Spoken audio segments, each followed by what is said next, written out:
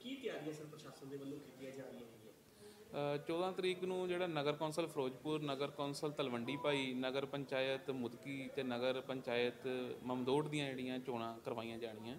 ਇਹਨਾਂ ਦੇ ਵਿੱਚ ਸਾਰੀਆਂ ਤਿਆਰੀਆਂ ਜਿਹੜੀਆਂ ਅਸੀਂ ਮੁਕੰਮਲ ਕਰ ਲਈਆਂ। ਜਿਹੜੀਆਂ VOTING ਮਸ਼ੀਨਾਂ ਜਿਹੜੀਆਂ ਜਿਨ੍ਹਾਂ 'ਚ ਹੋਣੀਆਂ ਵੋਟਾਂ ਪੈਣੀਆਂ, ਉਹ ਤਿਆਰ ਕਰ ਲਈਆਂ। ਡਿਊਟੀ ਓਟਰ ਸਟਾਫ ਦੇ ਕੱਢ ਦਿੱਤੇ ਗਏ। ਸਾਰੇ ਵੋਟਰ ਸੂਚੀਆਂ ਸਾਡੀਆਂ ਪੂਰੀ ਤਰ੍ਹਾਂ ਤਿਆਰ ਹੈ। ਸਾਰਾ ਅਮਲਾ ਅਸੀਂ ਸਾਰੀਆਂ ਟੀਮਾਂ, ਸੈਕਟਰ ਅਫਸਰ ਸਾਰੇ ਨਿਯੁਕਤ ਕਰ ਦਿੱਤੇ ਗਏ ਨੇ। ਸਾਡੇ ਜਿਹੜੇ ਸਟਰੋਂਗ ਰੂਮ ਹੈ, ਉਹ ਤਿਆਰ ਕਰ ਲਏ ਆ। ਉਹਨਾਂ ਦੇ ਸਿਕਿਉਰਿਟੀ ਪੱਖੋਂ ਸਾਰੇ ਸੀਸੀਟੀਵੀ ਦੇ ਨਾਲ ਅਸੀਂ ਕਵਰ ਕਰ ਰਹੇ ਹਾਂ। ਹਰ ਪੱਖੋਂ ਸਾਡੀ ਜਿਹੜੀ ਪੂਰੀ ਤਿਆਰੀ ਮੁਕੰਮਲ ਹੈ।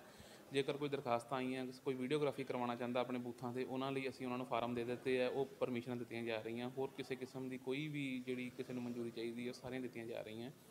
ਤਾਂ ਇਸ ਲਈ ਹਰ ਪੱਖੋਂ ਜਿਹੜੀ ਹੈ ਤਿਆਰੀ ਫੀ ਰੀ ਐਂਡ ਫੇਅਰ ਇਲੈਕਸ਼ਨ ਲਈ ਮੁਕੰਮਲ ਕਰ ਲਈ ਗਈ। ਹੈ ਸੁਰੱਖਿਆ ਦੇ ਪੱਖੋਂ ਕਿਵੇਂ ਪੁਖਤਾ ਇੰਤਜ਼ਾਮਾਤ ਕੀਤੇ ਗਏ? ਸੁਰੱਖਿਆ ਦੇ ਪੱਖੋਂ ਅਸੀਂ ਜਿਹੜੇ ਜਿਹੜੇ ਬੂਥਾਂ ਦੇ ਸੰਵੇਦਨਸ਼ੀਲ ਜਾਂ ਅਤੀ ਸੰਵੇਦਨਸ਼ੀਲ ਹੈਗੇ ਆ ਉਹਨਾਂ ਦੇ ਅਸੀਂ ਦੁਬਾਰਾ ਤੋਂ ਸੈਕਟਰ ਅਫਸਰਾਂ ਦੀ ਵਿਜ਼ਿਟ ਕਰਵਾ ਰਹੇ ਹਾਂ।